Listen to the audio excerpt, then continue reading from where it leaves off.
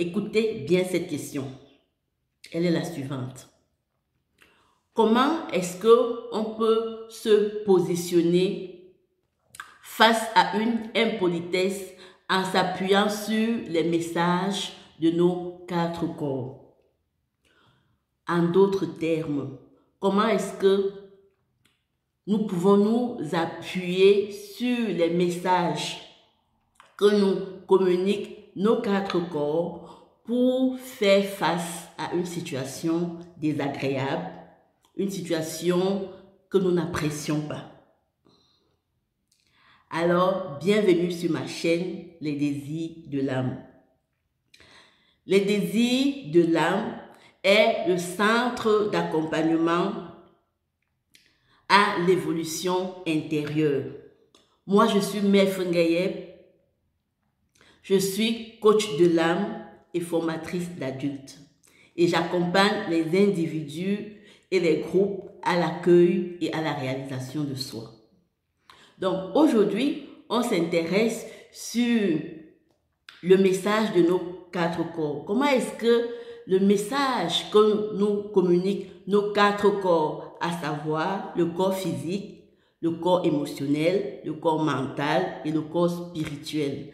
Comment est-ce que on peut s'appuyer sur les messages que ces différents corps nous communiquent pour se positionner lorsqu'une situation nous dérange? Écoutons cette histoire. On va l'appeler Eric. Eric se rend à un bureau pour ses dossiers et toute l'administration. Et puis, au retour, en sortant de la porte, il entend le monsieur au guichet qui l'appelle et qui dit Monsieur, monsieur Il se retourne, il le regarde, il lui dit pardon. Il lui dit Où est-ce qu'on vous a élevé? C'est ce qu'on vous a appris À laisser les portes ouvertes après vous? Eric le regarde et il a plusieurs options. Option 1 répondre à ce monsieur en s'appuyant sur les messages de son corps physique. Alors, il se retourne, il va vers lui, il lui dit, vous connaissez qui je suis? Vous connaissez à qui vous adressez Hein? Vous connaissez à qui vous adressez? Allez, pam Il lui donne un coup, un grand coup. Et voilà, et on peut imaginer que la suite de l'histoire, probablement que le, monsieur riposte ou qu'il se reçoit appeler la police. Mais bref, c'est la catastrophe, c'est une situation qui dégénère. La question est, est-ce que c'est ce que nous voulons? Ou Eric euh, se résout à utiliser la deuxième option?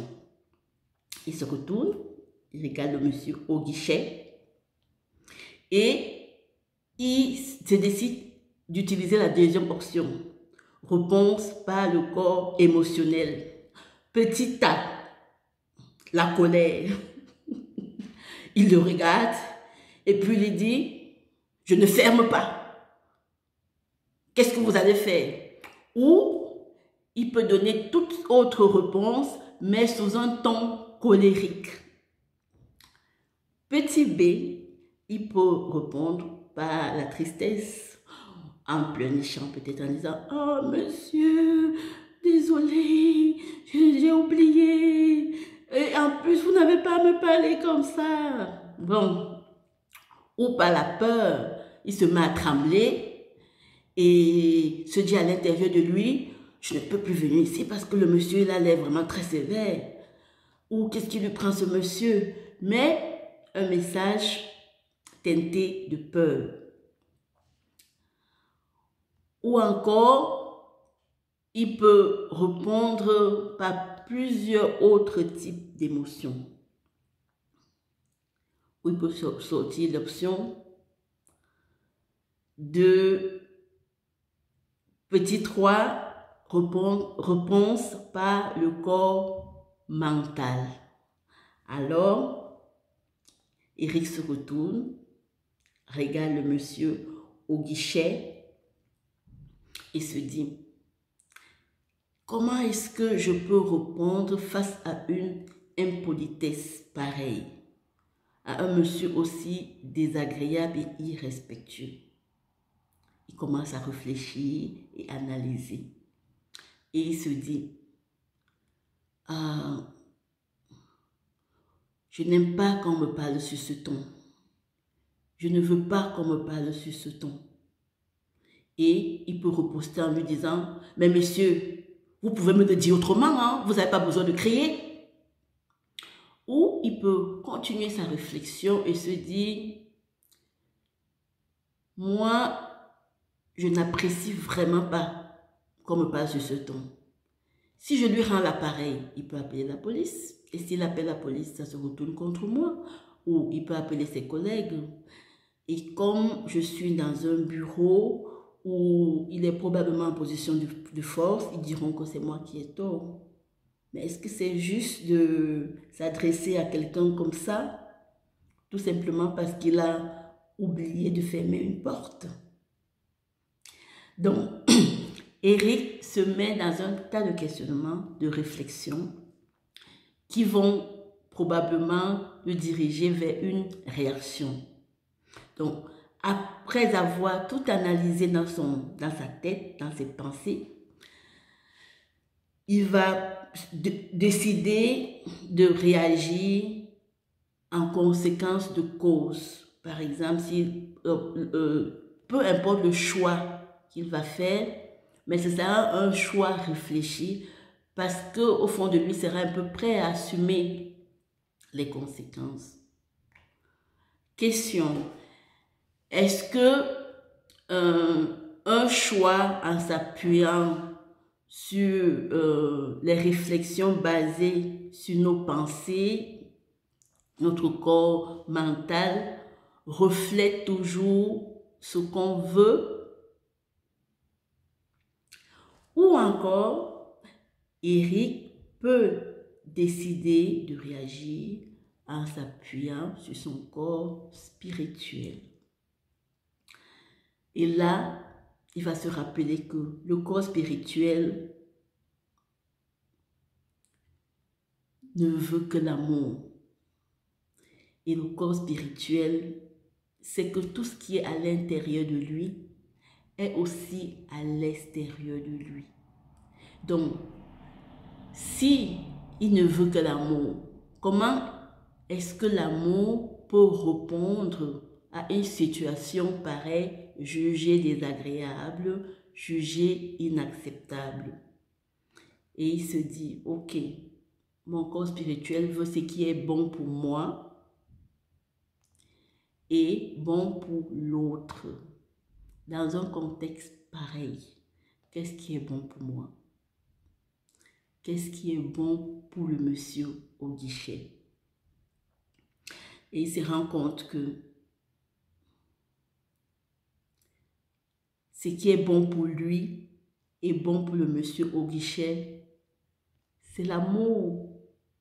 Mais comment est-ce que l'amour peut répondre? Quelle est la réponse de l'amour dans une situation pareille où une personne se sent blessée.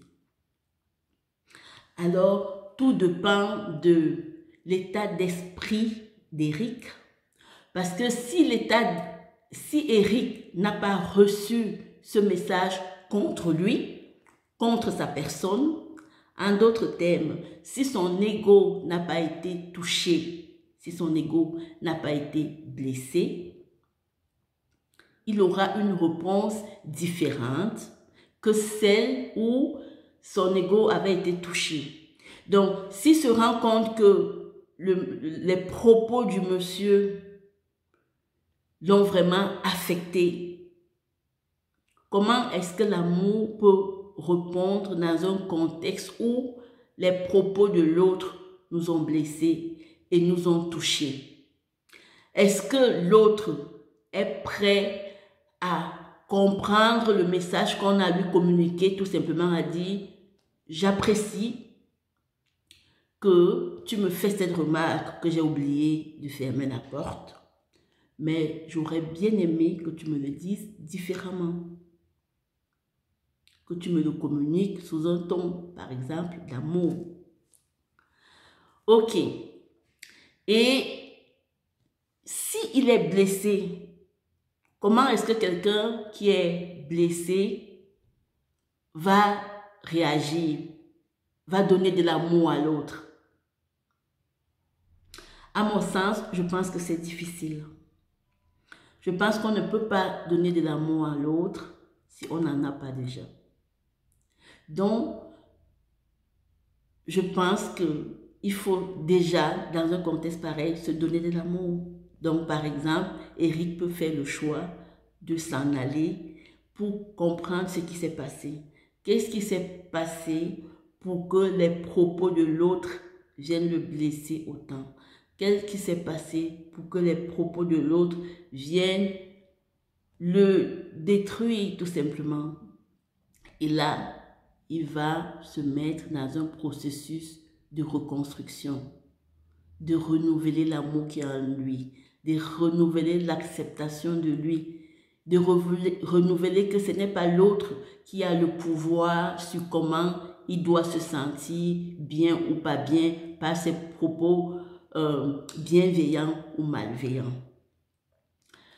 Et si Eric, dans ce contexte, se rend compte qu'il n'est pas touché par les propos de l'autre, les propos de l'autre ne l'affectent aucunement, et qu'il veut lui répondre par le message d'amour, alors dans ce cas, il peut se retourner, le regarder droit dans les yeux mais vraiment avec un joli sourire, pas un sourire hypocrite, un vrai sourire qui vient du fond du cœur et lui transmettre son amour, lui diffuser tout son amour et, sans, et pouvant lui euh, communiquer les propos plus ou moins pareils, comme celle-ci avec tout le sourire du monde. Ok, monsieur, j'ai compris. Désolé, je me rappellerai la prochaine fois. Alors, si Eric réussit à faire cela, je vous promets que le monsieur sera déstabilisé. Parce que je pense qu'au fond de lui, il n'aura jamais reçu autant d'amour et il va se sentir déstabilisé par tout l'amour qui l'envahit d'un coup. Alors vous, comment est-ce que vous réagissez lorsque vous êtes face à une situation qui vous paraît désagréable? Est-ce que vous réagissez par votre corps physique? Par exemple, ou vous réagissez par votre corps émotionnel, vous laissez parler votre colère, votre tristesse, votre peur ou autre chose. Ou est-ce que vous réagissez par votre corps mental? Vous entrez dans une réflexion pas possible où vous essayez de regarder les tenants et les aboutissants pour finalement choisir l'option qui vous paraisse la mieux possible? Ou est-ce que vous réagissez en vous appuyant sur votre corps émotionnel? Ou vous laissez parler toute votre lumière qui vous aide, votre moi intérieur, sachant que c'est par cette étape que vous allez commencer à guérir vos différents corps blessés et pour aboutir à une situation où vous rayonnez que d'amour, que de bien-être, parce que tout part de vous. Laissez-moi tout ça dans les commentaires et je me ferai un plaisir de vous lire. À une prochaine vidéo.